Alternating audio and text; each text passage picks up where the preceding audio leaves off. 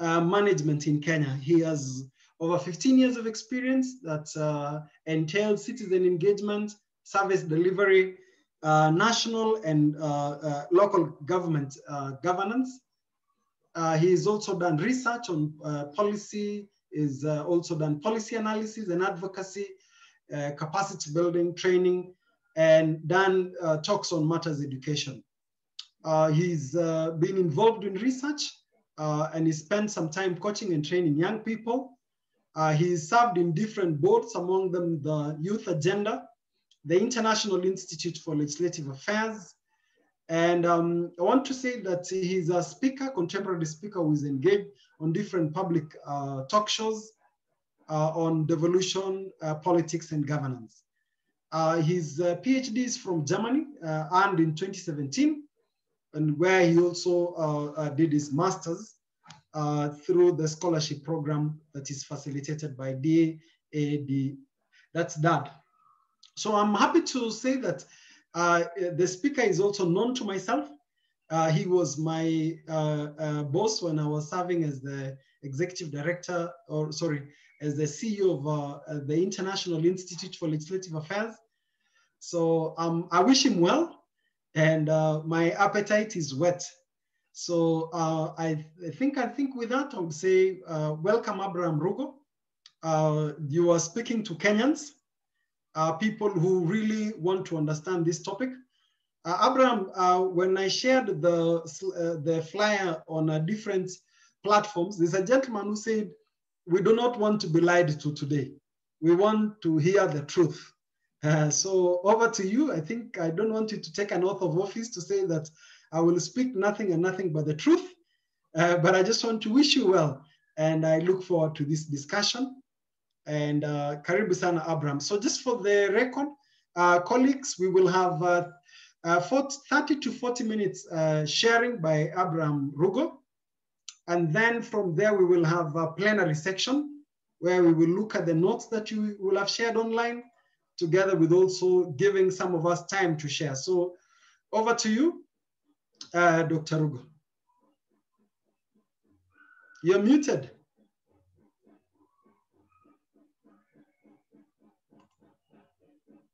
You're muted, Abraham. Good. Um, so thank you so much, uh, uh, Kimosop, for that very kind introduction. And uh, I want to hope that everybody can hear me uh, uh pretty well.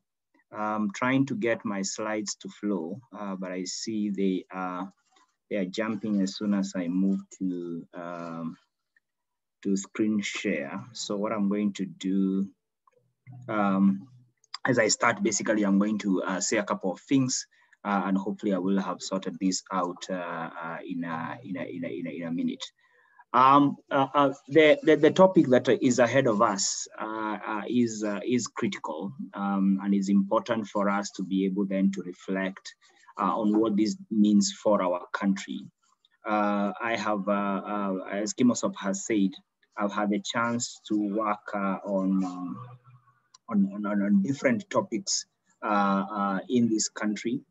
Um, and one of the things I want to start by uh, right away uh, stating is that uh, we all have a responsibility. We all have an obligation and a duty uh, to serve our country uh, wherever uh, the Lord leads us.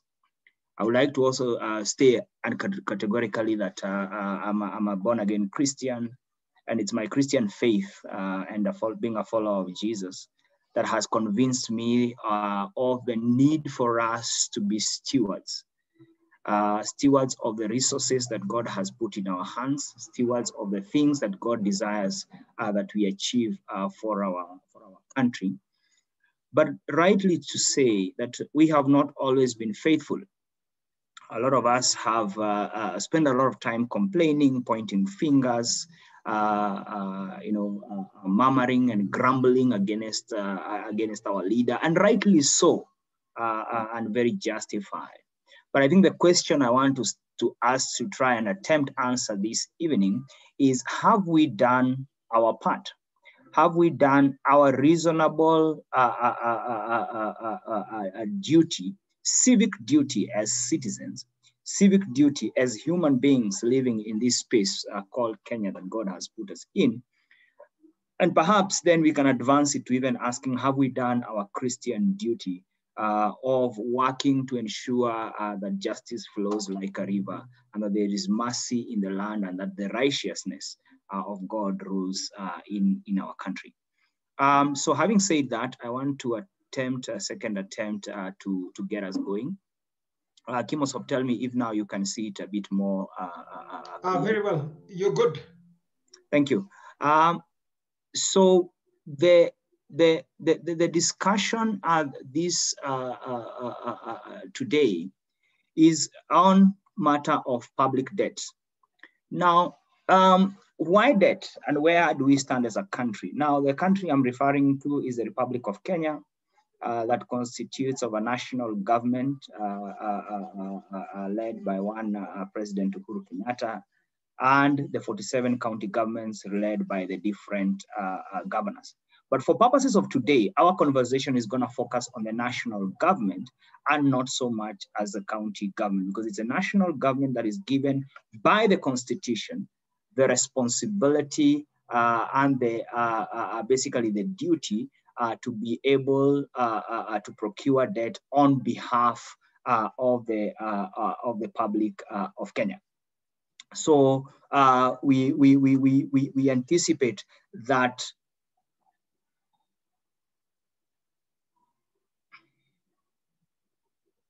Yes, so we anticipate that uh, our, our, our, our, our, our responsibilities for governance are going to be handled in a way uh, that is of, uh, uh you know, that is of integrity, uh, in a way that is prudent uh, for that.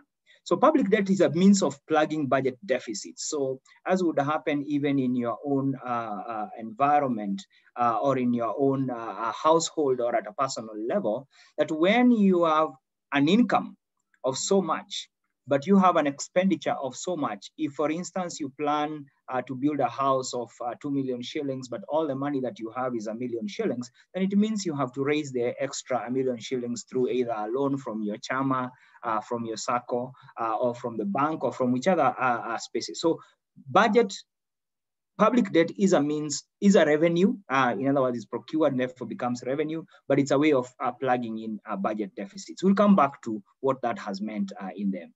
But it's uh, to enable us to be able to invest today for returns tomorrow.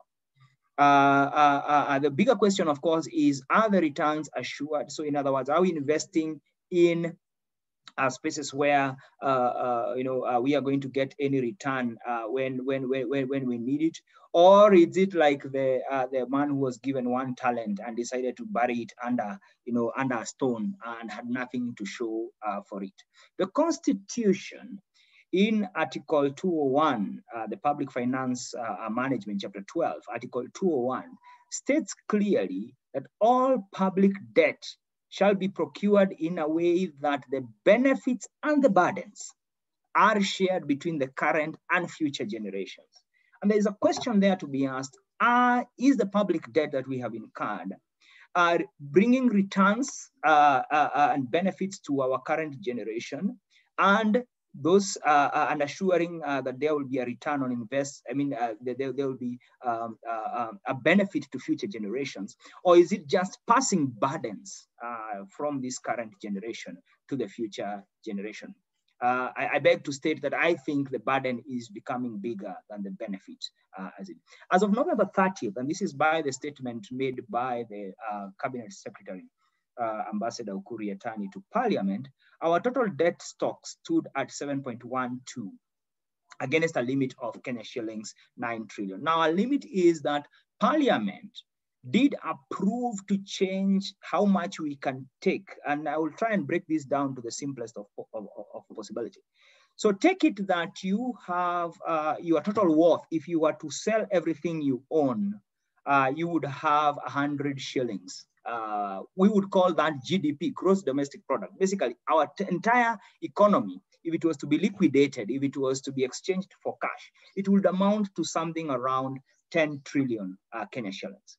Now, Parliament, initially, the limit was a percentage, 50% of the 10 trillion uh, of, of, the GDP. So in other words, if the GDP is at 10 trillion, you should not take debt that is more than 5 trillion, uh, uh, uh, so, so, so to say. But then Parliament changed that limit from a percentage to an absolute figure of 9 trillion. Uh, the year before that is in 2019. And already within a year, uh, we had pushed uh, to 7.12. As by uh, uh, uh, last month, the estimates are at 8.41 trillion. So in other words, there's just about 600, 600 billion that is left. If you include the deficit that the budget policy statement, uh, the, the official document that was released by uh, Treasury for, uh, for discussion two, two, one week ago uh, and will be published next week, I think on Friday or thereabout, um, then we are talking about an extra deficit of another uh, about a trillion. In other words, this figure will be surpassed. What does that mean? Where is the problem? I submit that I think the problem is not a problem of limits. It's a problem of prudence. It's a problem of values. It's a problem of uh, uh, the, the, stewardship within which uh, the public resources are spent. So, but importantly to say that debt, uh, as we stand now, Kenya's public debt is now mostly from external sources. So the graph I have there shows you up to June of 2020. Uh, we are still trying to get, uh, I mean, the numbers, but they are not going to be very different. They're just going to, I think it's moved now to 40, uh, 48, 49% and 51%. The yellow line is external debt. This is debt that is procured from external sources. So from the Eurobonds, World Bank, uh, other governments, um, and all these other, uh, uh, uh, uh you know, external sources. The blue line is domestic, domestic debt. Now you notice that we started in 2012 um, and we could do the numbers back uh, into the into the other years. But basically, we were uh, at about 55% uh, uh, just about uh, six seven years ago, um, and our domestic debt has been declining percentage wise, but not in absolute figures. In absolute figures, of course, the numbers are going up, and I will show that. Um, so there is a story here because what happens is that external debt comes in foreign currency. So it comes that currently our highest uh, uh, currency uh, is in US dollar. When the dollar fluctuates, so for instance, take an example that we borrowed, uh, you know, a thousand shillings, uh, a thousand dollars when the dollar was at 100 shillings. Now the dollar is at 109 shillings. And therefore it means that we, our, our net present value of that debt is not a thousand dollars, but basically it's a thousand. Sorry, it's a. I mean, it's a thousand dollars, but it's no longer uh, you know a hundred thousand Kenya shillings, but rather it's a hundred and nine thousand. Now multiply that with the millions and billions that we have borrowed, and you see what that means. So every time there is a fluctuation and an increase, especially in the exchange rate, uh, particularly what has happened when we, we have you know we have uh, less uh, uh, exports uh, going out, then so that's how the picture looks like uh, as we stand. But this table, and I put it there deliberately, uh, uh, uh, not, to, not to show you just many numbers, uh, but I wanted to show something that there's a trend. Now, the first line there is on domestic debt. This is the money that we borrow locally. And what you notice is that between 2012 and 2018, the very last column, uh, if you can see, uh, you know, the very last column, you see the change uh, so there's not been any change about uh, uh, monies that uh, we borrow from the central bank. So the, because the central bank, as much as is a banker for government, it is also a bank that lends money to government, uh, sometimes uh, to plug in, you know, short-term deficits, for instance, end month salary payments and the like. But the commercial banks, we have had a decline, which is shown by the other figure that showed that domestic debt borrowing has actually been going down. But I want you to look at the external debt and look at the multilateral. So multilateral are basically uh, the equivalents of the World Bank um, uh, uh, and other and other institutions that basically uh, would put money in a pocket in a in a in a pot and then uh, uh, lend it to Kenya. Bilateral is mostly government to government, you know, a single actor to the government of Kenya. But the commercial banks, the external commercial banks, the money they have lent to Kenya has grown by 14%. Now, you know very well that commercial banks provide these loans at a higher rate, at a shorter term, at a higher rate, and therefore that means uh, that the, then the repayment uh, is quite is quite high. Um, and there you put things like the Exim Bank of China uh, and other you know uh, uh, uh, institutions, the Paris Club and the like. What that means is that because of this fluctuation, then our debt has become more expensive over time. And in the Kenyan case, I would compare these to, for instance, the loan you would take from your SACCO and the loan you would take from a bank there's a big difference uh, because of the commercial nature of the two. But what explains why things are the way they are? The graph on your left is, is taken uh, from the latest document we have from the National Treasury, and it shows the fiscal deficit. So what is a fiscal deficit? A fiscal deficit is saying that this year, uh, and uh, for, for, for purposes of those who might not be aware, our financial year runs from the month of August to the month of June the following year. So currently we are in the financial year 2020-2021, which will end on June 30th of this year. Now, for each of those financial year, a budget has to be approved by June. Now, when the budget has to be approved, there are two critical figures in any budget or critical items in every budget. First is where are we going to get the money from? That is revenues.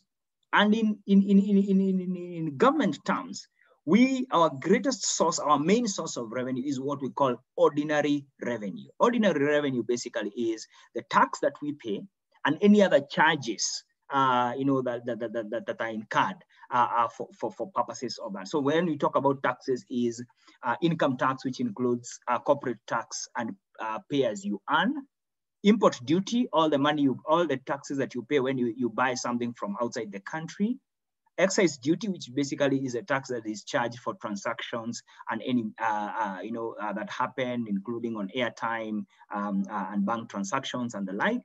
And then finally, uh, uh, we have VAT, value added tax, which is charged on consumption goods. Then other aspect of ordinary revenue is what you call non-tax revenue. So when you go to the Ministry of Lands, you pay some fees uh, for purposes. When you're buying land, you know, you pay stamp duty. Uh, when you go to uh, uh, uh to NTSA, you pay certain fees uh, there for you to be processed. when you go to immigration office and you need a new passport, then you pay certain. So that's what constitutes our ordinary revenue. Now, a deficit occurs when your ordinary revenue and you are so the second item is expenditure. So the first one is where shall we get the money from? The second one is where shall we spend the money? So our total expenditure. So the difference between our total estimated expenditure and our total estimated revenue is the deficit. Now the goal of as you see that graph that green the green side uh, with a black line is that the idea is to reduce the deficit. But the truth of the matter is that in the last couple of years, the deficit has been increasing. And the table on the side shows you uh, what has been happening. So the first column is the year. This is in uh, the year. Uh, the year is not in billions. It's just basically in calendar year, but the, the numbers are in billions in column two and column three. My apology for that. The deficit in the approved budget. So this is the deficit with which the budget that goes to parliament is approved with. So in 2014, 2015, there was a difference of 417 billion. So that is the money that has to be borrowed. But notice what? By the time the financial year was coming to an end, the deficit had been re revised upwards. In other words, we could not raise the 417, but we actually raised our deficit uh, uh, uh, to 732. And therefore the deficit went up by 76%.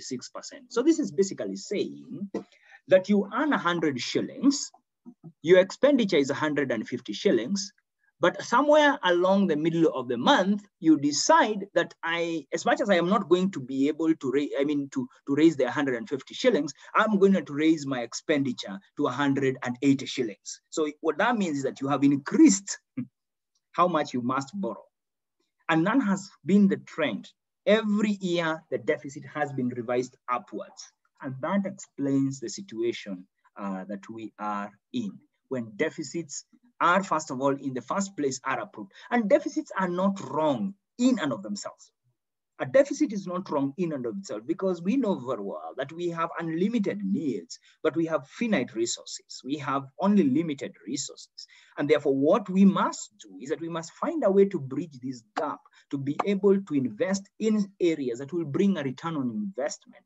And therefore, over time, hopefully, uh, you know, uh, uh, uh, uh then we are able to pay that uh, money money back. So the but but then you ask, okay, fine. So deficit has been rising. Well, maybe that is not a problem. Um, uh, we have not been able to meet all our, but perhaps the amount of money we are spending in uh, paying for the debt that we have incurred uh, is also matching well with our income. So this graph shows you how much, how the money we pay in debt. Now, let me go back a step back and say that debt, just like your own loan, when you take a loan, is a fast charge. Now, if you take a loan from a SACCO, you allow the SACCO to have something, you allow your, your you, you, allow the SACCO to reach out uh, to your employer to do something called check-off system. What that means is that before the money hits your account, the loan money has already been taken away. The same case if you do to the bank. Uh, as soon as your salary checks in, the first thing they do is that they withdraw, they take their share of the debt uh, repayment. So just like that, even in the public space, uh, in the public sector, debt is a fast charge to the income of the country. In other words, it means that it's first you pay debt before you can pay health workers. It's first you pay debt before you can provide resources for education uh, and other. So as you notice, our share uh, of ordinary revenue uh, that is being used to debt repayment has been rising uh, from about 16% uh, to 42% in 2018-2019. Uh, and by last financial year, 1920, we were at about 55%. Now, this shows you the debt servicing. So it's the same, same, same story, but then compared. Uh, so external debt servicing is erratic and that could be indicative of a poor restructuring of debt and, and, and, and, and, and, and when they fall due. Now, the other thing that is not only that the amount that we are paying to debt is rising, but has also been going through some almost like, you know, uh, it, it, it's a bit erratic. So when you look at, uh, you know, uh, total external debt service, the yellow line and then the blue line, you realize there are years, uh, uh there are years when we have paid about um, 76% in 2012, you know, uh, 2013, uh, then 74%, then 55%, then 69%, then 69%, then 52%. In other words, it seems to fluctuate and be erratic, which says that perhaps there is no clear scheduling of how much money we expect to pay year on year. Uh, uh, uh, uh and that could be explained by the fact that since we take commercial debt uh, that needs to be paid at certain points. So when, for instance, uh, the first payment uh, for the SGR loan came due uh, sometime mid of Corona, I mean COVID period last year, then there's a lot of money that needed to be spent uh, in that process and basically almost left our coffers uh, dry.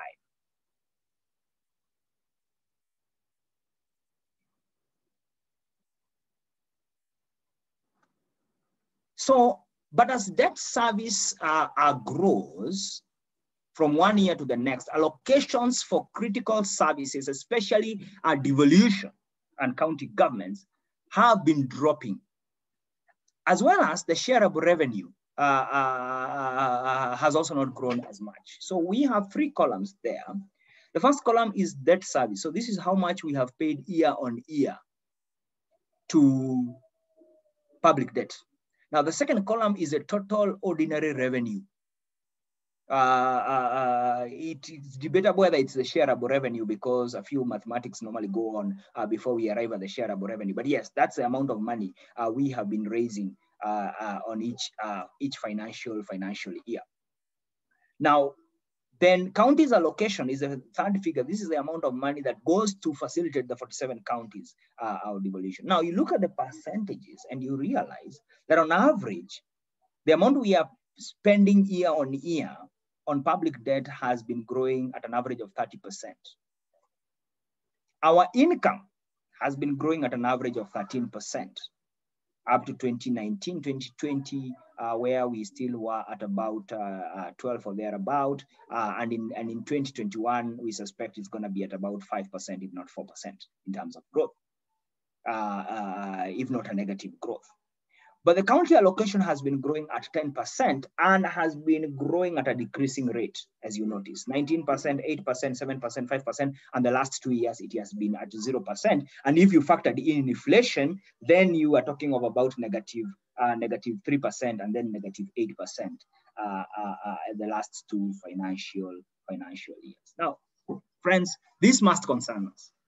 There is no way the amount of money you are paying to debt can be growing at two times, this year almost at three times, the amount of the growth in your own revenue and in your own income. I come back again to your income. So your income is still 100 shillings. Uh, you've been revising your, uh, uh, uh you know, your uh, your deficit year month on month, even if your revenue is not changing, um, uh, uh, you know, almost by uh, uh, 13, 14 percent, um, your, your, your, your, your revenue is actually not uh, increasing at that much rate. But the amount of money you are spending on repaying debt is going up year, month on month. Now, um, I don't need to describe what would happen at the end, uh, but I, I, think suffice to say that then there is a crisis. Uh, uh. Now, 2020, 2019, 2020 uh, was disrupted by COVID. Now, COVID disrupted a unique, in a very special way, disrupted the most critical of our incomes because it disrupted labor. It is disrupted. Now, I talked about four, four, four types of income tax, of tax, sorry. The most critical one is income tax. Now, income tax includes corporate tax and pay as you earn that we all pay uh, uh, uh, to, to the government. Now that has accounted for the longest time for about, it was at about 47, 48% a couple of years ago. It's been declining up to about 42% as a total share of the amount. In other words, if we collect 100 shillings, 42 shillings have been coming from corporate tax. Now, when companies closed and people lost their jobs and government reduced uh, the amount of tax, then that accounts for the decline that we have seen uh, in revenue. But that was not matched by a decrease in expenditure. In fact, in another uh, uh, uh, space, I did comment, and I still hold that, that it seems that everything else is declining apart from public expenditure, which is something that must concern, concern us.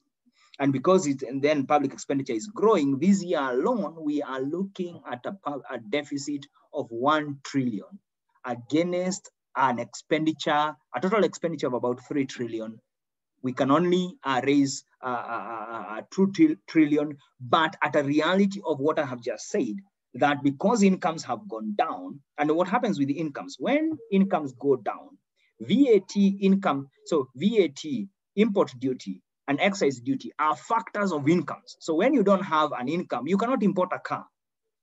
You know, uh, you may indulge in some activities basically uh, of addiction to be able to try and manage your stresses, uh, and that may explain some, some limited growth uh, in VAT, uh, but, but essentially, you know, you know, it, it, it's, it's not a growth in, the, in the economy. Um, allow me to proceed. Um, so, but if this is the picture, one would argue, but where does the money go? Oh, rightly, yes, we have incurred a lot of public debt. Uh, this money should be going somewhere. Now, I want first of all for you to imagine that you earn, you still earn your 100 shillings per month, and your employer on a good day tells you, I'm going to add you 80 shillings to your monthly income. Now, when you add somebody 80 shillings, in other words, if you increase their salary by 80%, it will be visible, whether in indulgence or in investment. Now, if we are saying that we have borrowed and guaranteed loans of about 8.41 trillion Kenya shillings against a GDP of 10 trillion. Therefore, you're saying that we have injected into the economy over the last couple of years 84% of the total wealth of that economy, then it should be visible. And if it is not visible in investment, then it is visible elsewhere. And I will not go uh, into that line of conversation. I'm sure we'll come to it in the discussion. But where does the money go? So we did some analysis because under other, other international budget partnership, we are interested in the question of equity, and I'll speak a bit uh, before I come to the end of my presentation. So we found that the proportion of the money overall goes to infrastructure heavy projects. That's to energy, to infrastructure. ICT takes on average 44%. Environment, uh, water, and natural resources, and largely these are water projects, uh, takes 39%. Uh, and of course, you know, the examples of Arror and Kimwarer dams all fall in here. Uh, uh, agriculture, rural development, uh, you know, rural and urban development, whether you think about the irrigation schemes that was that are supposed to have provided food security and what has happened, health takes about 11%, uh, general economic uh, and commercial affairs takes another 11% and the like. So our money is going, so in other words, if 44% of this money is going to energy infrastructure and ICT, we should be seeing fairly heavy investments. Are you able to point some of those investments? Uh, uh, and I'm not saying they are not there, but I think it's a critical conversation. But there's a second question which we have not yet answered of how equitably distributed are these projects? Are they concentrated in certain areas of the country or are they, are they sufficiently distributed? Are roads being done across the country? Are railway lines being opened across the country? Are energy projects being take, undertaken, ICT projects, environmental and water projects? Is there equity where we can say, okay, fine, yeah, yes, we are carrying a burden, but we are also having a shared uh, enjoyment of the benefits of that burden.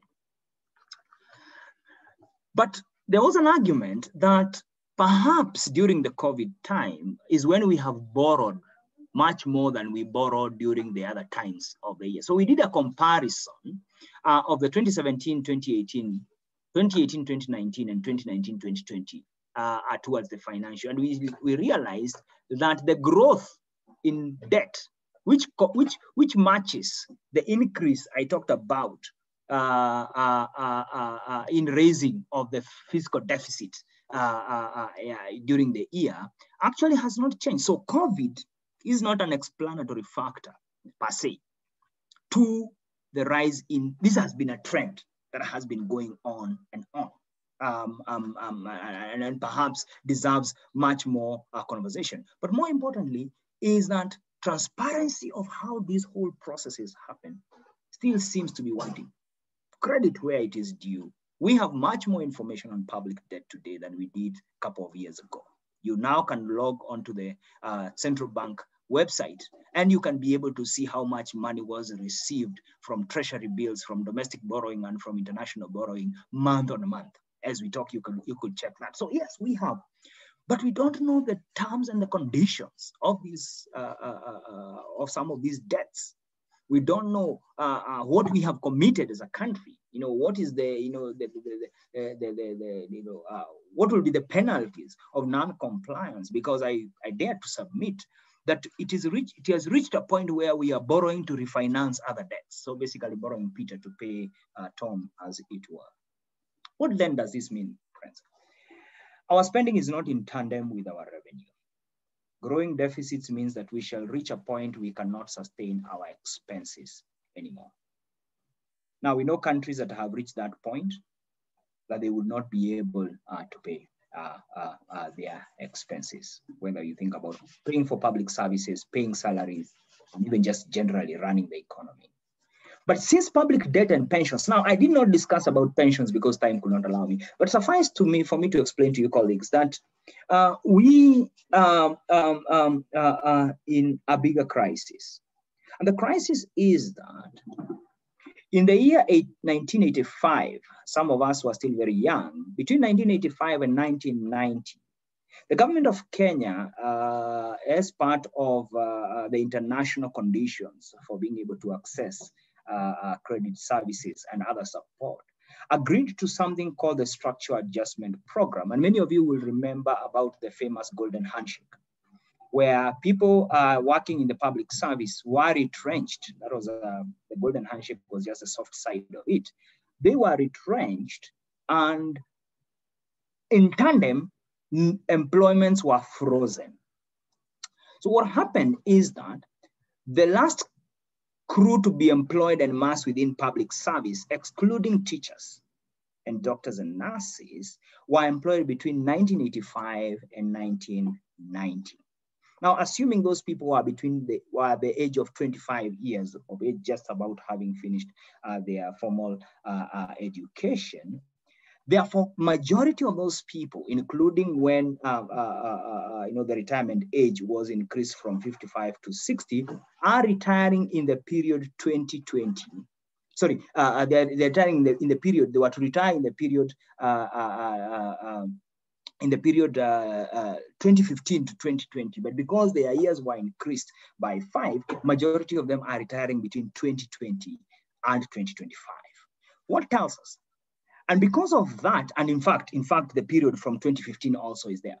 So in the last two years, the amount of money we are paying to pensions has doubled from about 54 billion uh, to 110 billion. And I think this year we are going to be spending about 150 billion. Now, pensions is a liability just like public debt. It's a fast charge to the consolidated fund services. Now, what that means is that we are going to have a huge population uh, of people living in the formal uh, public service and they do not have pension. Currently, anybody who has a pensioner in their home, whether it's their father, their mother, or uncle, knows that it's taking almost about three, on average, about two years to process their pensions. Uh, the, the, the, well, the, on one side, somebody can argue it's all an administrative process, but I dare say, on the other hand, I think there's no money. And therefore, and lastly, we are edging closer and closer to an economic shutdown and recession. Some of us believe we are already in a recession. And a recession, generally described, is a time when you cannot meet your obligations, your day-to-day uh, obligations uh, uh, as, a, as, a, as, a, as a government. And you have to rely on treasury bills to issue treasury bills. And when they are bought, then you pay salaries or you transfer money, uh, money to, to counties. It's when you are surviving bank account uh, to be able to run, run, run your expense. So we are edging closer and closer, especially if we do not do something about how to raise expenditures in it. So what next? I believe that a full austerity uh, uh, uh, where we only have a focus on essential spending for a period of time. But secondly, that we credibility, where we spend money based on what we, we planned our budget and not just shift monies and then increase the deficit as is the case. Fiscal consolidation has been in the paper. So basically the process of trying to cut expenditures and match them with the revenues, but it must be an active process and not just uh, uh, in the papers. You read, you read the budget policy statement, the draft. Uh, it, talks about the journey to fiscal consolidation. In fact, the graph I showed you earlier, the title there is actually fiscal consolidation. But it must be an active thing because, as I have explained, it is now that we need to bite the bullet uh, uh, uh, before later on, then, then it will. Will. I think Parliament must have a cap on how much can be spent on debt servicing per year as a counter check to borrowing limits and conditions agreed. In other words, instead of saying this is the much you can borrow, we know very well the issue is not how much you can borrow. The bigger issue is that do you have the money to actually service that public debt? And it's a recommendation we have made. We think it is time to actually set a limit. How much money can we as a country, when you take a loan uh, to, from a SACCO, there is a limit beyond which you cannot take, you cannot pay per month because you must be left with money to run your life. I think it is 30%. You cannot pay more than 70% uh, uh, to loan and taxes and everything else. Uh, you must be left at least with 30%. Why can't we do that uh, within this particular context so that we limit how much we can spend year on year on debt servicing? And that technically would limit how much then, uh, uh, because as I say, the appetite for borrowing seems to be at, a, at an all-time high.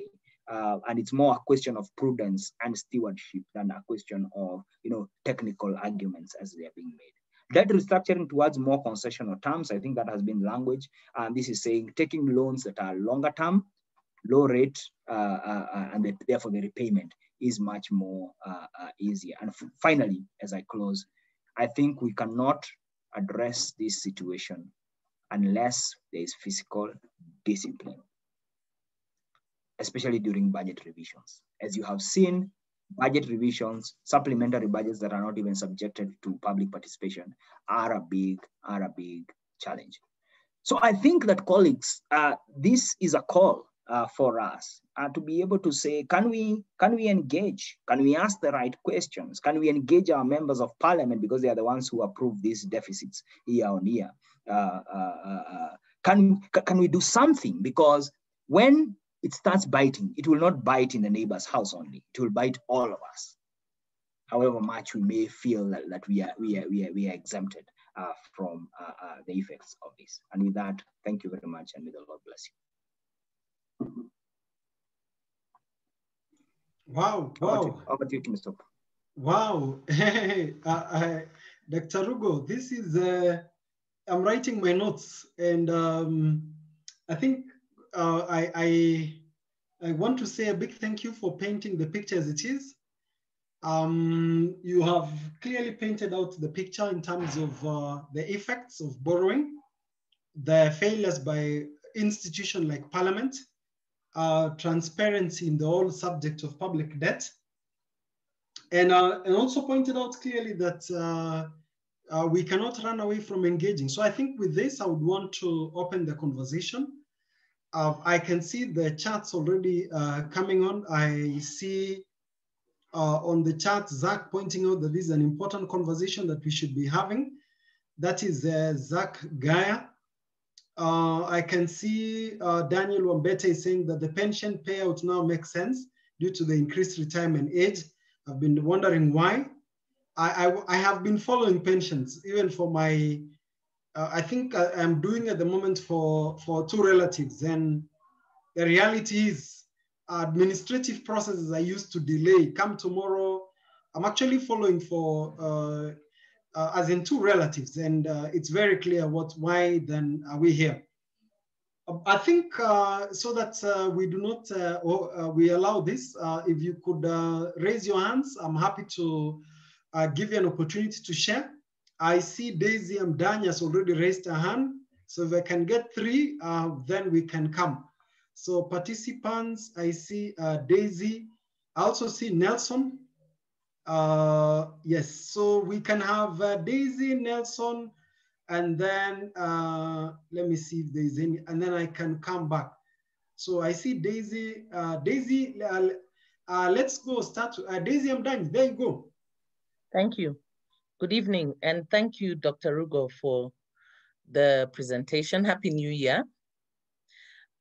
Um, so my, my, my question, I don't know if it's a comment or a question. However, it's very clear from what you show, as from what we've seen, is that we have a clear spending problem and uh, a parliament that refuses to rein in the executive. Now, it has been posited by some that um, the reason why um, this problem persists, particularly with Parliament, is because of the CDF being pegged to the total budget. And so the bigger the budget, regardless of deficit, the more CDF goes to them. So it's almost like a bribery, you know? Um, so it doesn't matter as long as um, they get their pound of flesh, they're willing to let the, the uh, executive continue on uh, Daisy, I lost your last, uh, like the last 15 seconds. Oh, sorry. I was saying that uh, that it has been suggested by some that the problem of being able to rein in the executive by parliament is because the, the CDF is pegged to a percentage of the budget. So my question is, given the grim reality that we are facing, the failure of parliament to rein in the executive and and clear lack of a will to do that because even in the midst of the uh, of the uh, crisis i mean because it's clear that there's a crisis the executive has now put out another budget with a trillion shilling deficit. Do you think that the current leadership parliament and the executive would have any willingness whatsoever to address this challenge if pleas were made? If not, do you think then, as the KCPF and a coalition of uh, publicly spirited Kenyans, that we can put together a coalition that begins to speak very clearly about this issue and state what needs to be done, including what Jaindi Kisero um, uh, put in his article recently, that we should have an external and an independent audit of our debt register. Thank you. Um, thanks, Daisy. Uh, can we, you can then put your hand down. Let, us have uh, Nelson. Okay, thank you. Uh, hi, Daktari. Uh, so I'm Nelson Miner from Nyeri County, a member of the Nyeri County Budget Economic Forum. And uh, the debt issue is, has been of concern to us also. So maybe just to clarify to, to us, uh, Daktari, is uh, that in 2018, Parliament uh, pushed the, the, the ceiling from 5 trillion to 9 trillion. And currently there is talk that Treasury wants Parliament to push these to 12 trillion. So maybe you can clarify that if it's true. Uh, secondly, is it true that uh, World Bank set a certain limit that is uh, like, you know, like the, the crisis point at 77% of debt to GDP? And currently we are at 71%. So is this maybe something uh, you can clarify for us? Thank you. Um, um, uh, uh, you can put your hand down, Nelson, so that I can see if there's anyone else who is uh, coming. Um, Abraham, as we wait for the rest to, uh, to, to, to raise their hands, I just wanted to, if you could also comment on the issue of uh, uh, management. As you are aware, currently before Parliament is proposed legislation on what we call the public debt, the public debt management bill um, the, the, the uh, um, uh, how, uh, because you have the, in terms of institutions, you have the central bank, you have the, uh, the debt management office, and then you have the legislature. So is, is beyond the legislature, uh, looking at the other institution, is our, is our uh, and I'm looking at it from this dimension, Abraham, look at the Kenya Revenue Authority, uh, the World Bank recommendations on splitting and separating the roles between the policy and the agency. Uh, do we need to consider strengthening, for example, the debt management framework? Uh, and uh, I, I, would want to hear your comments on, uh, is it an issue of strengthening these institutions, giving them autonomy? Look at what KRA does. they're able to publish, they're able to engage, they're discussing how collection of revenue uh, uh, that is not the case, uh, for example, on the debt management office. So uh, comment on the issue of institutions. I would also want to, if you could to hear from you about um, the only issue about what message does does the uh, does the the restructuring. Um, as you're aware, on the uh, if I if I was to just bring to your attention on the press release released by the Treasury, uh, Monday, 11th uh, January 2021, uh, on the issue of uh, the suspension, or like um, uh, uh, the, the we call the application of um, debt service suspension initiative with the Paris Club. what does this signify, particularly on the stability and then our ability to finance our debts? I know I'm a moderator, I should not be asking much, but I'm a Kenyan also who is interested on these issues. And um, yeah, because when you start uh, asking for the suspension of the payment of your debt, what does that signify? Uh, I see one hand from Nyamai. If you could allow. can I can I can I take those first, uh, and then okay. I'll come. Uh, go ahead, yeah. Nyamai. Please bear with us. Yeah, kindly. Um, so so thanks thanks Daisy. Um, I I, I completely uh, uh, uh, associate with your sentiments. I think we do not have the will and the possibility for, uh, in my opinion, uh, for the for the institutions you have outlined to make a difference in this country. Now, and it's because of uh, the transactional nature of our politics, where it's about scratch my back, I scratch your back, and everybody is at peace. Um, as you know, that uh, the Constituency Development Fund, and I will mention, I'll speak to it uh, because you you did uh, mention uh, initially was pegged as a percentage of income tax of, of, of, of, of, income um, to the country. But when it was changed, uh, I still think it is unconstitutional, but when it was changed, it was made a national government uh, constituency development fund and was pegged as a percentage of the national government revenue. I mean, national government shareable portion of the shareable revenue. And therefore, there already is an incentive that the higher the amount uh, uh, that goes to the national government, uh, uh the higher the amount that goes uh, to the to the members uh, of parliament. As you know very well, that our politics has turned to be, you know, um, a fairly, you know, mix of very strange bedfellows, if I, I was to say that. And therefore, I do not think uh, and I say this because I have raised this conversation uh, in different spaces. I do not think uh, the people who have the right intentions have the capacity, have, have the possible, uh, the opportunity uh, to make uh, the changes. And those who have the possibilities do not have the right intentions. And therefore, I am all for an alternative citizen drive. Uh, it, it did happen in Jamaica, uh, where, where, where citizens pushed quite a bit of, you know, the thinking on how to address some of these questions. Um, uh, it did make quite some progress, and I think, uh, to, in all honesty, I think there is there are alternatives that people need to come together, and we can all pull together and, and see what we we, we, we, we can do, and perhaps identify people who are going to champion uh, these these these processes. Because the truth of the matter is that when uh, the real effects start being felt, and, and I fear that some of them will be felt a lot uh, in the later part of this uh, year, uh, uh, then it will have a, a great, great, great, great implications. Nelson, yes, um, I, I, did speak to the fact, I didn't speak to the 12 trillion, but I have seen the recommendation, the request by the National Treasury to raise the amount borrowable, if I was to use that word, uh, from 9 trillion to 12 trillion. As I have said, I do not think the problem is a problem of limits. It's a problem uh, of, uh, uh, uh of prudence. It's, a, it's an ethical problem.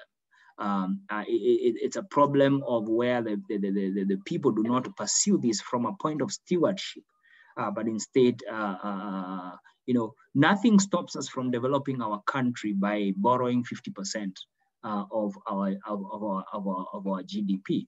You know, by the time 9 trillion uh, was being approved, I suspect that a lot had been borrowed much more because the, right, the, the rate at which we have grown, uh, the debt has grown from the time that it was raised from, uh, uh, uh, uh um, you know, that, that was raised from the time from the from the time it was raised from 50%, which is the five trillion that you've talked about, to uh, to 9 trillion, the numbers have grown very fast and we are quickly approaching 9 trillion. So basically, you're trying to say that this person has a problem of, you know, has a debt problem, you know, uh, his way of spending his money is really bad. So let's allow him much more space uh, to borrow from more, you know, from, from, from, from, from, from more places, you know, and, and more people uh, and be more indebtedness. You know, you, you all know we have dealt with such kind of fellows, and it's not normally. Uh, so, so, that addiction, if I may use uh, that word, that, that, that obsession that there is no way there can be thought of alternatives of what to cut. But because again of our transactional politics, as I said earlier, it seems that like almost every project has got uh, a sponsor and therefore it cannot be touched. You know, uh, because we have asked question, why can't you reduce this? Why can't you reduce that? No, no, no, that, that must continue, that must continue. I think we need to be rational. We need to be realistic uh, with what uh, is is, is possible. Yes, World Bank has got measures, IMF has measures, uh, but remember, uh, and as I said, I'll be very, very honest uh, here. All these are banks, you know, they all, what they are interested in is their interest, is that they sell money and they make their profits and make their, their, their, their investors happy. They have shareholders who have put money into those uh, uh, structures. So you cannot expect that they will help you fix. Their only interest is that you are able to pay back, regardless of whether you are fully. So what I think is important is not so much the World Bank uh, uh, uh, uh limits or the IMF limits, many of which we have already broken. But really, it's asking the very basic question, are we able to pay back? And secondly, are we spending this money in the rightful places? If those two questions are no, then we can't, we shouldn't be borrowing anymore. We shouldn't, you know, uh, we should rein in uh, that, that, that, kind of uh, uh, uh, uh process. Kimosop, yes. I'm at a point where I don't think we need more structures and more institutions because the problem is not a problem of structure and institutions. It boils down to a question of leadership, stewardship, and commitment to make a difference in our country. I don't think by moving the, the, the, the public debt management office to an authority will make any big because there will still be sub you know there will still be a sub actor within the national treasury. And that's where decisions are made at higher levels. There will still be a substructure to parliament. If parliament that is elected by the people themselves what higher authority you know can you claim uh, to be able to make a difference. So, so I don't think that, uh, uh, yes, there is an argument to be made for institutional strengthening. Yes, there is an argument to be made of certain reforms where decisions can be uh, uh, integrated. But as long as those who have the call of duty do not hold their responsibility you know, with the integrity and with the prudence that it requires, then we have we have a problem, and that is related uh, to a question, uh, uh, to a concern uh, uh, that uh, Bernard Ocheng asked, you know, are these discussions placed on public? No, no, no, no. The public management debt paper is never subjected, for instance, to uh, to public participation and public consultations. And those are the things I said we are trying to push for, for instance, and I would invite everybody here to actually take that as a matter of interest, uh, to ask questions about what is the debt, where does the, who, you know, what is the debt register looking like? Who do we owe? How much do we owe them? What are the conditions behind those uh, what we, what we, what what we owe. Yes, the budget policy statement provides an opportunity for us to engage, uh, but really is a debt discussion um, uh, uh, uh, uh, held. But even as you engage, you want to engage in a process where your voice counts and can be counted as, as, as it were. Yes, debt suspension, Kimosop, it's the only way to go. At this particular point, uh, uh, uh, uh I don't think where we are, there is a bet, there is another route uh, uh, that will be devoid of negotiating, suspending our repayments. Because our repayments this year alone, this financial year alone, if we pay everything we owe, we are going to spend about 70. I've just looked at the numbers. as of December 31st, we had collected 726.5 billion uh, and we paid 413. So in other words, we spent 57% by half year on debt. Now, you know very well that we are not likely to collect the 1.5, 1.6 trillion we had hoped to collect in this financial year because of the effects that I did explain a bit earlier. Uh, and therefore, that tells you uh, that unless we rein in, first of all, as a quick first aid measure, we must reduce the bleeding uh, from the revenue, and that is by the renegotiating. Uh, how much we are paying month on month, I mean, I mean month on month uh, uh, uh, to, to our creditors, then get into the process of then working on our side of the of the uh, of the of the of the expenditure. Um, so, so, so that's my take. I, we could take the next round uh, of questions. I'm not able to answer all the questions as because a lot of these uh, I should have given a disclaimer at the beginning are uh, are my personal opinions. They are buttressed by the research we have done at the International Budget Partnership, uh, uh, uh, and they are based on evidence. So none of the numbers I'm quoting are numbers from my head. They are official numbers uh, as published. Thanks. Uh, now I'm so tempted, but I have to be to to to be disciplined. so I'll go to Violet. I'll go. To, I'll start with Nyamai and then go to Violet, and then there is a person called Gechek. Uh, I think, uh, I hope I have pronounced your name right. yes. Um, some of us come from places where there is a problem between T and D and P and V. So please accept us as we are. So uh, let me start with the difficult one, uh, Gechek. Uh, thank you so much. Uh, my name is Geshe. I put the other initials PK uh, together. So okay. don't worry, it confuses you. Now I have two issues. Uh, the first one is uh, I was hoping that uh, Abraham will give us who who do we owe the highest? Is, is it China? Is it the World Bank? Is it uh, who? So and what percentage do we owe them? Number two, the international uh, budgetary forum or the, the, the, the organization that you run, is it possible to have a national conversation where we call people to discuss these things? Because you have just said we are in almost a recession or we are heading there. Do you want to wait until we get there? Because this way we will all suffer.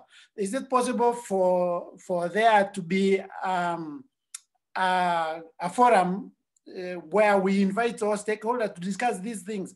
because we can't wait for the government, the executive, neither the parliament to do this because they are the culprits and they are not going to call for a meeting to discuss them. Thank you.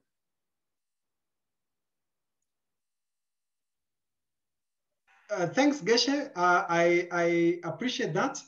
Um, Nyamai was there, so I'm trying, before I come to you, Violet, I have seen you. Uh, Nyamai, are you still there? Okay, we will wait for you. Uh, please jump in, uh, Violet. You're muted, Violet. Violet, you're muted. Okay. Violet, yeah, thank you for unmuting the line. So I just wanted to ask uh, this question. Is the the CS Treasury. Like all these suggestions that are being made, even by the civil society organizations, even IBP is also uh, these suggestions of debt restructuring. I just want to know, is the government listening? Because every time we tell them uh, regarding the public debt, it's like they are ignoring. So I just wanted to know uh, whether they listen to even what IBP is saying and also other bodies as well, even like TISA. I just wanted to know whether they con consult them and whether they actually listen to the suggestions and act on it because from the presentation on the debt, uh, we can see that debt has been uh, rising every year every financial year you can find that 2016, 2017, 2018, 2019, 2019, 2020. You think it is on the rise, and yet they have experts on board eh, who they reach out to. But I just wonder to the advice that is being given. Thank you. Very passionate Kenyan there, uh, uh, and uh, uh we need more of that passion and stirring up. Uh, Abraham, you are speaking to the right people. Go ahead.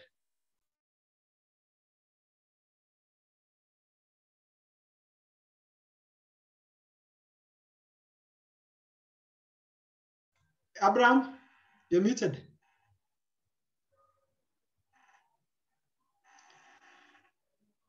Abraham?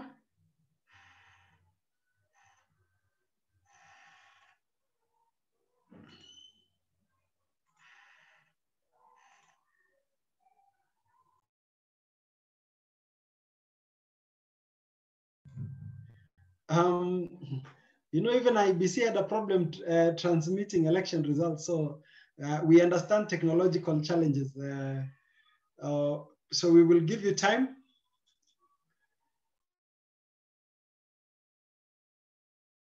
Meanwhile, as you as you prepare, please be also looking at what we have on the side chat.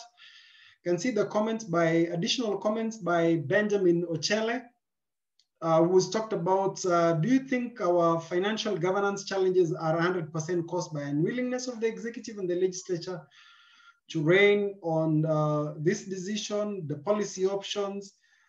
Uh, Daisy has also pointed out the, I, I, uh, that uh, the Jamaican example is a very good one. um, but then Daniel has talked about the missing uh, what are we missing in terms of government? When does it come to investing? Uh, where, where, what are we not getting on return on investment on energy, infrastructure, and agriculture? Abraham, were you successful? I was just uh, filling in the um, gap as you address. Are we good?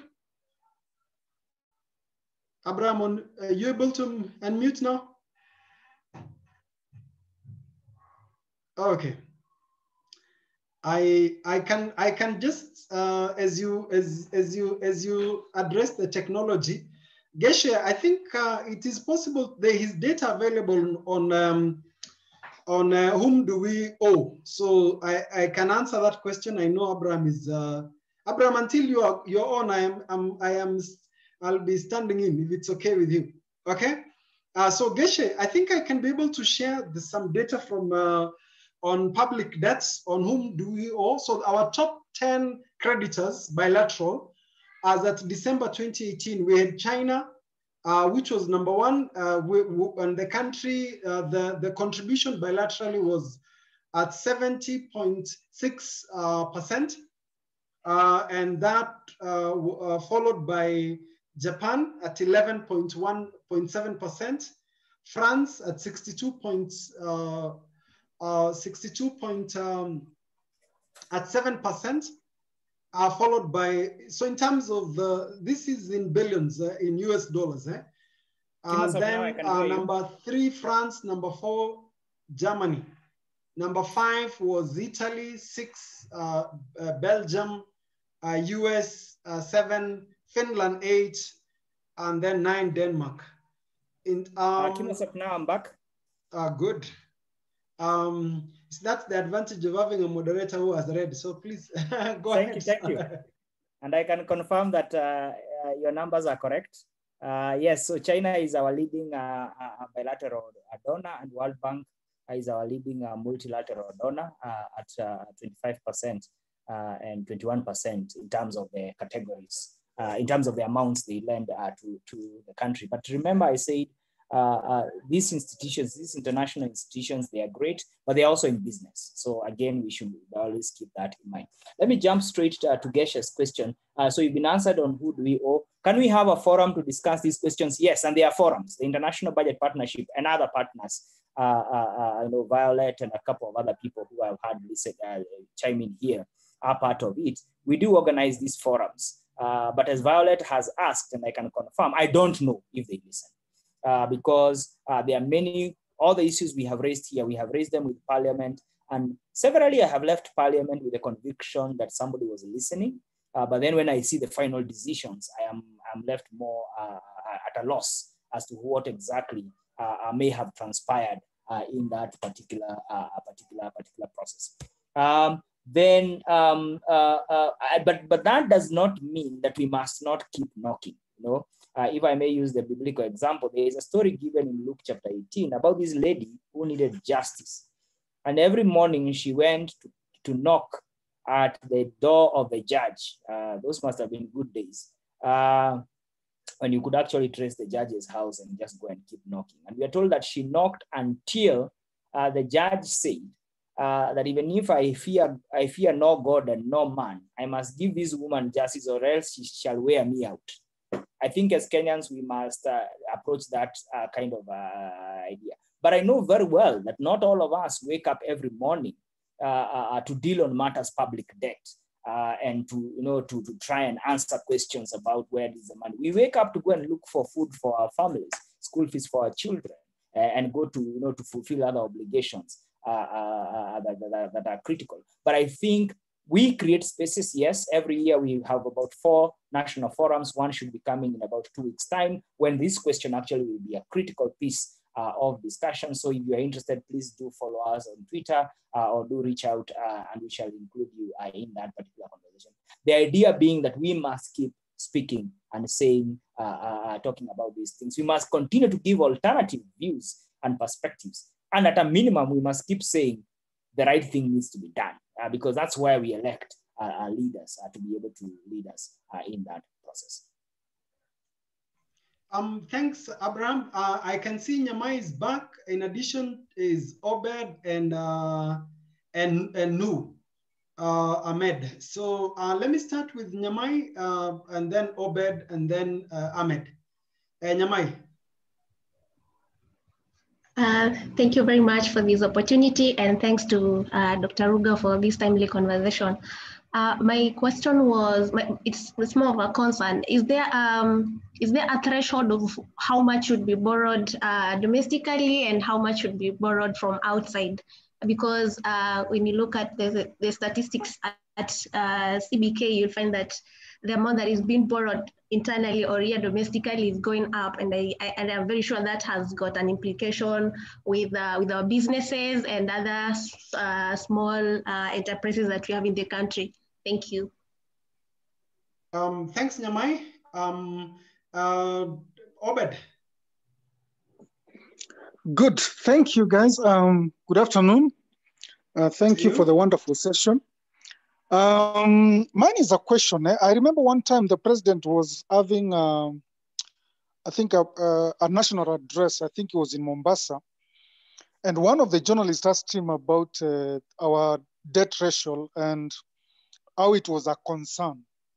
And of course, the president, in answering, he said that uh, countries like Japan have even much more debt ratio than, you know, uh, than uh, than their their GDP.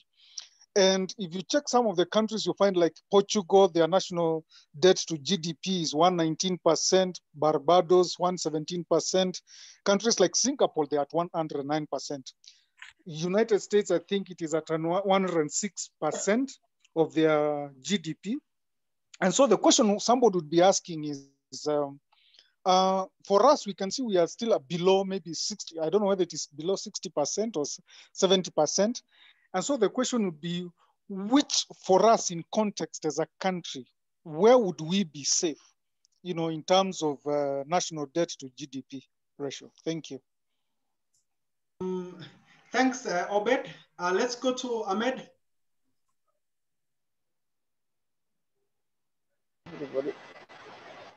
Hi. Good Hi, afternoon. Ahmed. Hello. This is Nur Ahmed from Mandera. Yes, Ahmed. My question is, the, the debt, the huge debt we have is related to corruption. And uh, what are we doing about corruption? Because the money we borrow is still is, is being stolen by by people who are an authority or who are in power. The second question is most of this information you are giving us now is not available at the public domain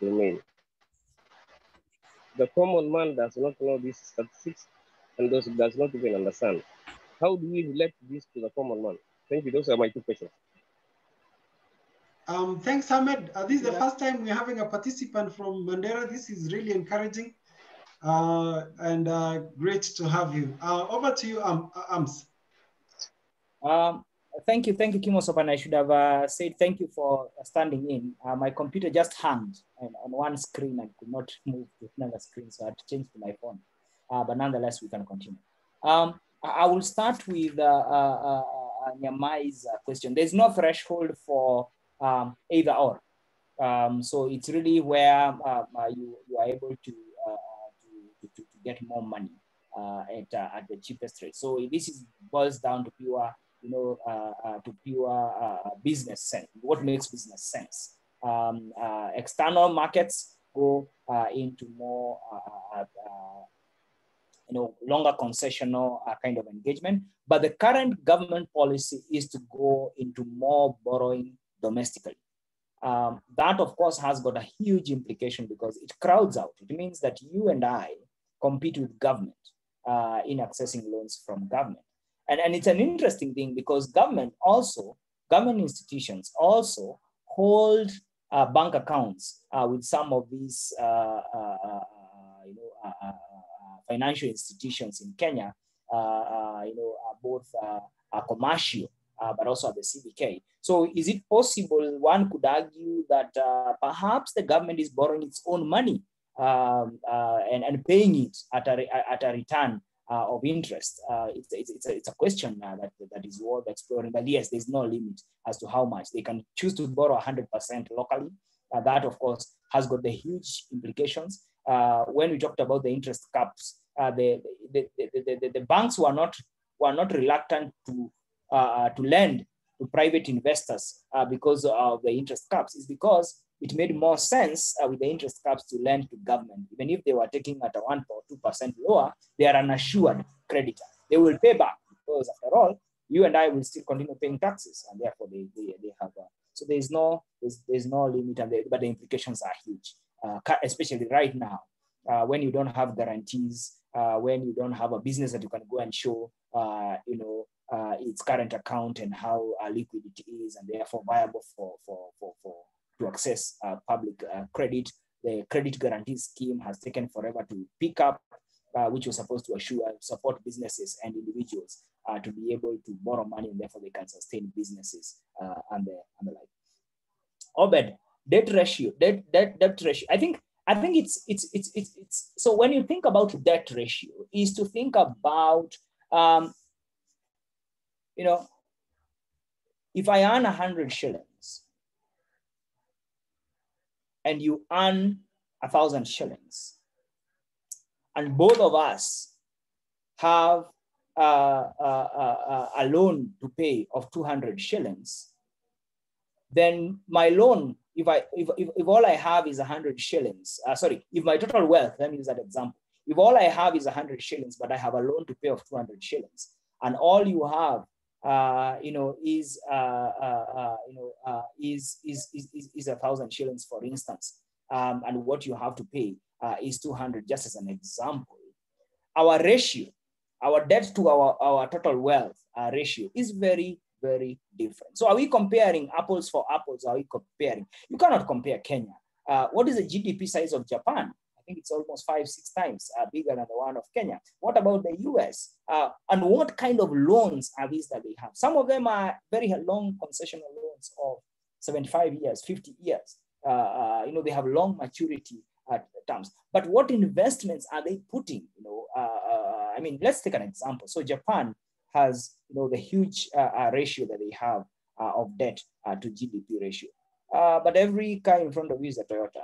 So the investments and their, the, the business model they are pursuing as a country means that that is not money that they will be unable to pay when they need to pay. And do they need to pay it in the first place? You know, maybe it's money that they keep rolling into the economy and it's continuing to engage uh, in economic activity. So I think it's important for us to compare apples for apples and not apples and mangoes and saying and say, oh, look at these poor apples. When will they ever grow big and be like, you know, uh, uh, uh mangoes? I think it is it, that comparison. I think uh, it's just a political experience kind of a comparison, but I think you need to compare likes for likes. If you are saying countries that are the same GDP level, you know, you take on a country like Portugal, yes, uh, uh, uh, uh, Uh, uh, uh, you know, take, take, take an example like, you know, Portugal. Portugal has got a huge economic crisis. Yes, they're at 106%, but they have huge problems because of the same debt that we are talking, we are talking about.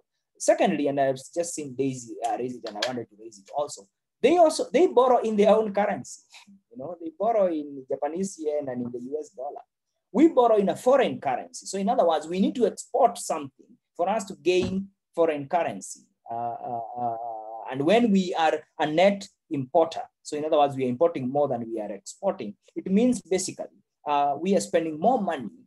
Um, the money we are buying is more expensive than the money we are selling as, as, as, as it were. So, so I think there, there is no, the argument of a safe debt level is based on two things that I had said earlier. One, ability to pay back, and two, investment, uh, uh, uh, investment in productive economy. And let me combine that with Ahmed. Ahmed, earlier in the conversation, and I had expected this question to come up, I argued that when you put in 80% of somebody's total wealth, if you have 100 shillings uh, with you, and then I come and give you 80 shillings on top of that. In other words, I put in 80 shillings into uh, into your into into your pocket. There's a lot you can do. Now we need to see. We can see it in two ways. We can either see it in that you go just indulgent, you disappear from the village, uh, and uh, and just go and squander the money and use it. You know, just having fun because you have more money than you know, uh, much more money. Or you will put it in investment, and therefore if we struggle to find the investment, perhaps all these private investments we are seeing are the proceeds of corruption. Now, and there is an argument uh, uh to be sustained along that line uh, because uh, we have huge cases, we have huge scandals, uh, you know, of, of, billions. You know, it's interesting that just the other day we used to talk about, you know, hundreds of thousands. You know, now we are talking of scandals that are at billion level. And if we cannot see the projects for which we are paying for these monies, or the projects are not necessarily to the level we expect of this money, then the money must have gone somewhere. And we have had politicians even argue that some of this money has made its way uh, uh, to, to, to, private. So could it be that we are using public means to achieve private, uh, uh, private? And how do we make this conversation a common Mwananchi conversation for all of us to be able to engage? It's a difficult conversation, but I think we are trying. Forums like these ones and many others that we try to break this down uh, uh, should try and achieve that kind of a purpose because corruption and uh, abuse thrives in darkness thrives in opaque systems, thrives with lack of transparency. And therefore, our job must be to continually push uh, uh, that information needs to be uh, uh, uh. But as a country, we also need to ask about our own software, our own uh, mode of operation. Have we actually come to accept that extraction is the only way to make it? Have we come to accept that wealth, regardless of the means with which you, you access that wealth, uh, is, is, the, is the only way. Could it be that part of the reason why even our young people are depressed and burning schools, that they see no value in working hard, you know? Uh, could it be that actually we have reached a point where we are saying hard work is for fools? Smart people work smart. Uh, they know how to cut deals. They know who to talk to. They know where to be present, in which tables to be to be to be to be present. There is a bigger question there, and I don't have time to pursue that argument uh, in this uh, particular forum. But I think there there is more evidence to show that some of the money within the economy is going into the wrong places. As we are talking about debt that we cannot pay, we also struggle supply of real estate, both in commercial and residential uh, uh, terms, in millions of square feet in Nairobi alone. In other words, we have more buildings than we can ever occupy, than the economy can ever consume.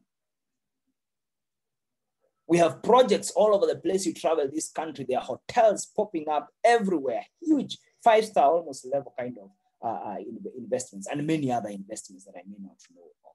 Could it be that that's where actually uh, uh, uh the trillions we are talking about have, have ended? I'm asking questions that I don't have the numbers uh, to substantiate, but if we cannot see um, actual physical investments, then we should be able to say, okay, fine, if the money has entered the system, then it must have gone into, into something. And with that, I want to thank all of you uh, uh, for the conversation. I think these conversations needs, needs to continue, uh, needs to be sustained, needs to be developed. But please, let this not be just one of those things you listen and you go home and say, oh, things are so bad. What shall we ever do in our lives? No, no, no. You can do something. You can do something uh, uh, it's a question of what is it? And at a minimum, ask a question. Send a question to parliament. Ask your question to your member of parliament. Publish it out there. Thank you very much. Um, thanks so much, uh, um, uh, Abraham. I think uh, that was quite commendable. I want to request the audience if we can clap uh, digitally for, for, for those who are able to know how to clap digitally. I can see Daisy, I can see Geshe, Nelson. Uh, fantastic, fantastic. Please receive it. Uh, we are in a new uh, normal where you have to uh, accept this digital. Sorry, we are losing you, Kimo. You're coming, uh, you're breaking. Now, I was saying that uh, please accept the, the digital claps now that we cannot do it in the physical. You've done a fantastic job. It is very evident that this conversation needs to be continued uh, at, the, at KCPF, we are ready to uh, have another round if people want to know, because we've just started the conversation. For example, uh, uh there is the whole issue about um, uh, why the, are we having returns for our for the for the debts that we are borrowing? Uh, even the gender dimension, I can see Daisy has been doing a fantastic work in terms of two thirds and gender work uh, it affects us differently. And um, I, I, I, am not the, uh, just to summarize, debt in itself, as Abraham said, is not a bad thing. It is what are we borrowing to do? Where is this money going to? And is there accountability, transparency in the process? So thanks so much.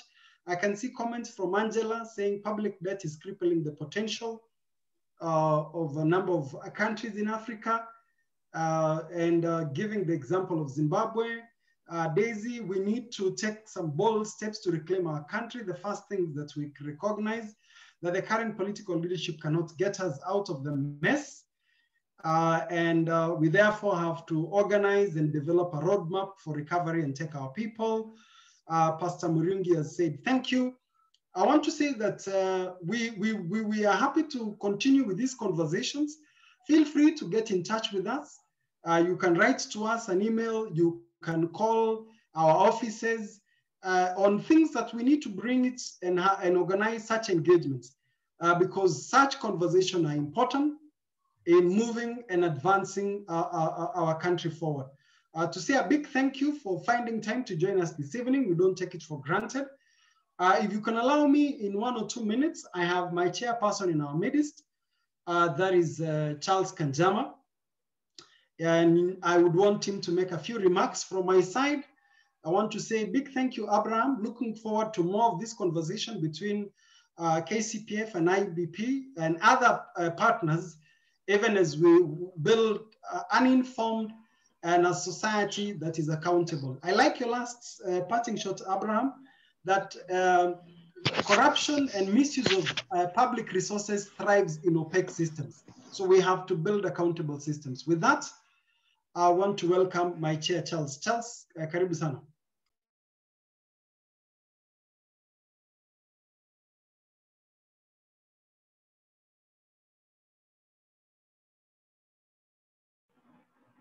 Okay, th thank you. Thank you, Vincent.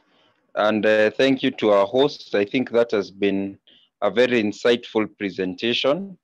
For me, I'll uh, first start by thanking uh, our host and, of course, uh, our moderator for a job very well done. This was our inaugural session as Kenya Christian Professionals Forum of what we are calling the Professionals Roundtable. Uh, this is something we want to do uh, monthly uh, through a webinar format, and we'll be engaging our professionals on topics of professional development and improvement. So we encourage you to share widely the notices that you're going to be spreading. Uh, we also encourage feedback and comments on how we can improve the professional roundtable. You can put them in the chat here or you can share them with us through WhatsApp or any other means. Uh, we are focused as KCPF on trying to grow our membership base and also strengthening the professional dimension of organization, Kenya Christian Professionals Forum. So we really are delighted in this uh, first activity and uh, it has gone very well and so many of you have remained with us until the end. Um, apart from that, I think I'd also be asking you to visit the website of KCPF. We have a calendar with many activities planned for the year. I will also be having another monthly uh, webinar now on our thematic areas, which is life, family, religion, good governance, and uh, value-based education. So those are things that we'll be having every month. And uh, we, we will be having other engagements and you can check on our website to get uh, more details and information. For those of you who'd like to become members, you can contact our secretariat, you can get information on the website, and there, there's a process by which you can become a member. Thank you very much. Have a nice uh, evening and a nice weekend ahead. Uh, thanks, Chair. We started with a prayer. Uh, if we could uh, conclude with a word of prayer. Um, I think I saw uh, Muriu Pastor um, uh, on the chat, and we appreciate everybody. Rose Muriungi, if you could uh, uh, pray for us uh, briefly as we conclude. Rose, are you there? Uh, Rose, I can see you there. If you are mute. Okay. Uh, it looks like it is taking long. Patience, uh, close for us with the word of prayer.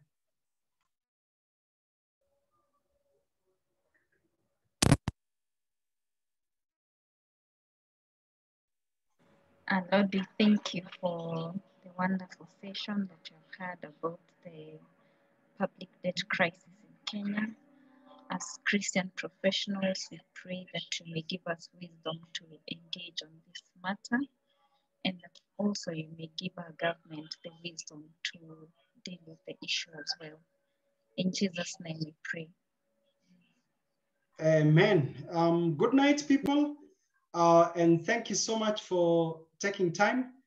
Uh, looking forward to the next one. Uh, Dr. Rugo, you can see there are many things we can, we'll take it up uh, that have come up that we will need to discuss moving forward. Uh, but nice evening and uh, God bless you all.